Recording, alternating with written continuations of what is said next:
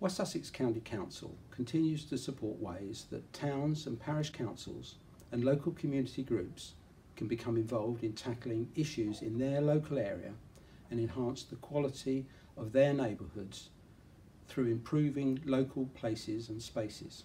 With increasing budget pressures, the Highway Service's top priority remains focused on safety. And we will still be responsible for resurfacing roads, drainage repairs and gully cleaning, safety lines and signs, essential tree maintenance and grass cutting.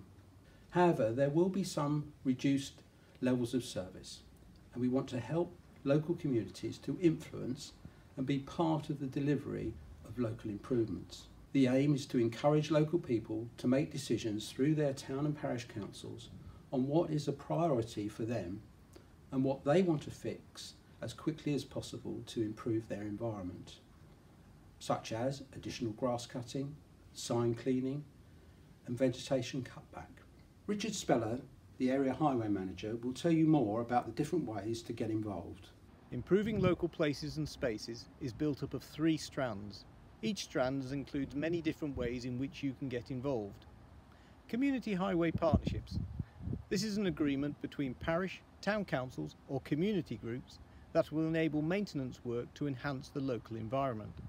Siding footpaths, clearing gully tops and tree works are just a few examples that could be included in this type of partnership. Community-led improvements.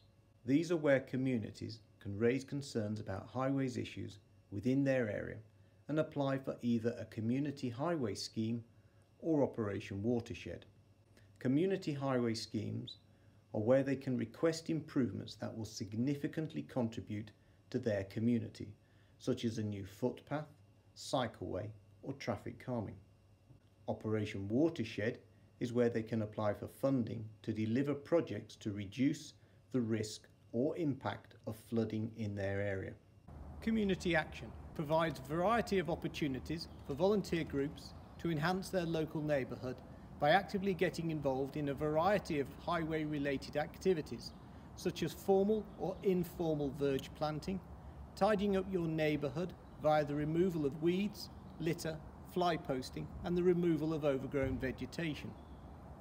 For more complicated projects, we provide task leader training, guidance on the production of risk assessments and possible insurance cover.